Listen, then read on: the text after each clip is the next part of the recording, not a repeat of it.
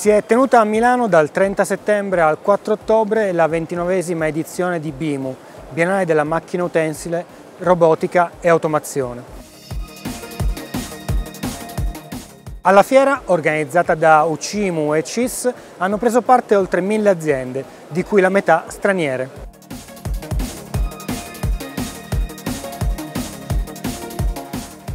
Abbiamo visto oltre 3.000 macchine esposte per un valore superiore ai 450 milioni di euro. Andiamo a sentire la voce dei protagonisti.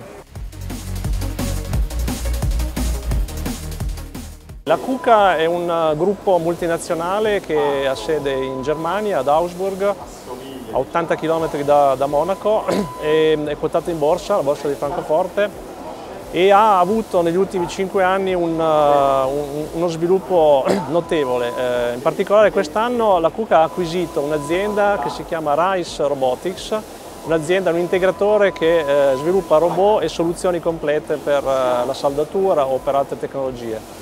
e sono, eh, quindi ha acquisito un fatturato di oltre 100 milioni di euro di fatturato e eh, sono 1300 persone, hanno anche una grossa presenza in Cina. Per l'anno prossimo la Cucca prevede un fatturato di 2 miliardi e 7 e un organico superiore a 10.000 persone che consente di dare una, uno sguardo di ottimismo al futuro sviluppo dell'azienda nel suo complesso, nel mercato mondiale.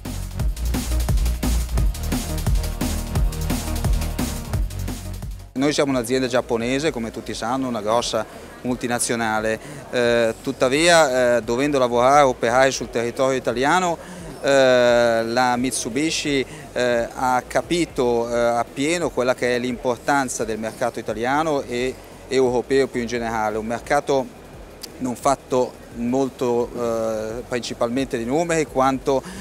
di, di, di qualità non tanto di, di, di quantità quanto di eh, innovazioni. Eh, adesso sappiamo bene che eh, il mercato italiano è dire, un crogiolo di, di eh, innovazione, di, creatività, di, inventiva e questo Mitsubishi lo capisce molto bene perché eh, è eh, estremamente attenta a queste che sono queste, queste nuove tecnologie, queste nuove funzionalità richieste.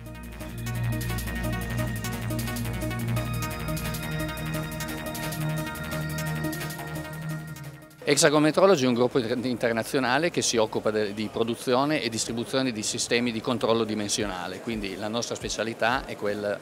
di costruire macchine e sistemi in grado di misurare e valutare le dimensioni dei pezzi e fornire all'utente informazioni per valutare la qualità del processo. Qui a Bimus siamo presenti con tutta quanta la gamma di prodotto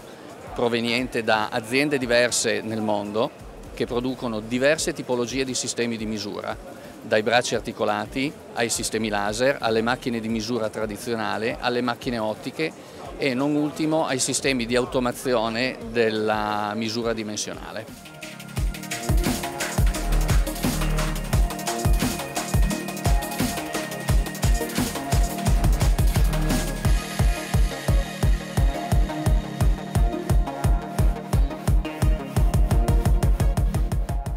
L'azienda si occupa da 51 anni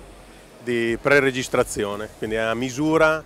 e a regolazione degli utensili fuori macchina. È un prodotto di altissima qualità, di precisione, è un prodotto da un certo punto di vista accessorio alla macchina utensile che permette di ottimizzare i tempi di lavorazione per le macchine e quindi ridurre i costi e aumentare la produttività. Noi da, da 21 anni siamo in America, quindi il nostro secondo mercato a livello mondiale è il mercato americano eh, subito dopo il mercato americano abbiamo Giappone, che è un mercato molto esigente dal punto di vista della qualità, quindi è diciamo, un fiore all'occhiello. E da qualche anno a questa parte Svizzera è diventato un mercato molto importante perché è esigente dal punto di vista della precisione e quindi siamo riusciti con sforzi importanti a, ad imporre un po' la nostra, la nostra qualità anche lì, quindi questi sono i due mercati principali diventati in questi anni.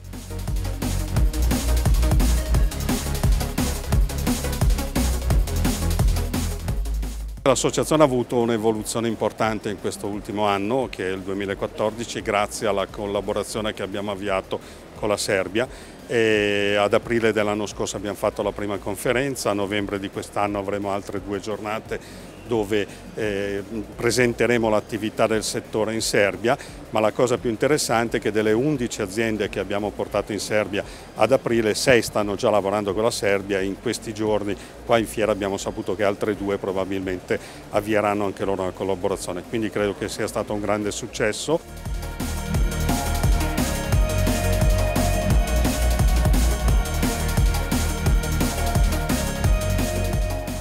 Robot Units è un'azienda austriaca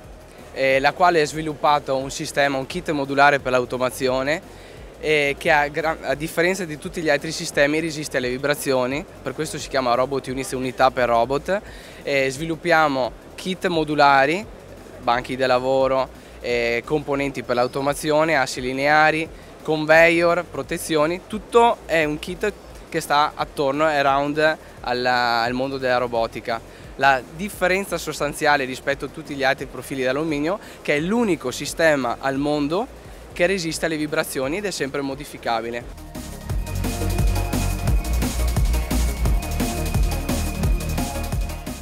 Mercato stranamente rispetto a tutti i parametri economici che, che, sentiamo quotidianamente è un mercato che sta dando grosse soddisfazioni, un mercato in crescita, eh, ho parlato anche con altri operatori, tutti sono abbastanza entusiasti per, eh, per come si sta muovendo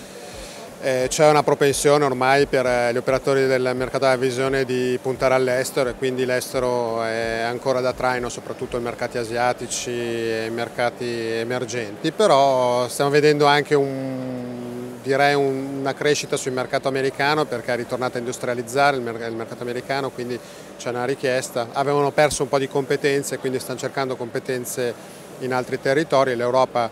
ha sempre investito anche negli anni bui e quindi oggi ci troviamo in una posizione abbastanza privilegiata.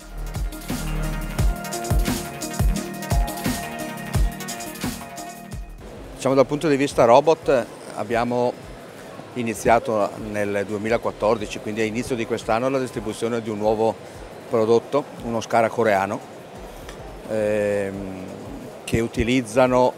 per esempio ad assemblare l'iPhone a Taiwan. È una gamma proveniente dalla Corea del Sud che eravamo andati a verificare direttamente a metà 2013 per avere una seconda gamma di robot Scara più economici, meno performanti e per applicazioni semplici e cheaper eh, per System Integrator. Eh, dopodiché abbiamo eh, iniziato a distribuire un robot a cinematica parallela un prodotto svizzero molto performante eh, per applicazioni di packaging primario e secondario, food, medicale e farmaceutico.